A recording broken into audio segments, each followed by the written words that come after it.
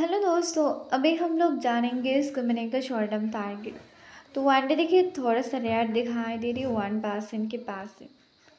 One महीने देखिए one महीने में वन परसेंट रिटर्न दिए हैं। इसका वन महीने देखिए वन महीने में भी रिटर्न दिखाई दे रही है। थर्टी वन परसेंट रिटर्न दिए हैं। सिक्स महीने देखिए सिक्स महीने में रिटर्न दिखाई दे रही है। Two hundred eight percent return दिए हैं। इसका वन ईयर में, देखिए वन ईयर में भी रिटर्न दिखाई दे रही है। Three hundred thirty three percent return दिए हैं। इसका वन डे देखिए कंपनी में लॉस दिखाई दे रही है। ग्राफ का मुँह भी ऊपर पहले था, फिर से नीचे गए वन महीने का ग्राफ का मुँह देखिए ऊपर दिखाई दे रही है। कोई दिक्कत की बात नहीं। कंपनी नेक्स्ट डे रिटर्न देने के चांसेस है वन परसेंट से ऊपर है।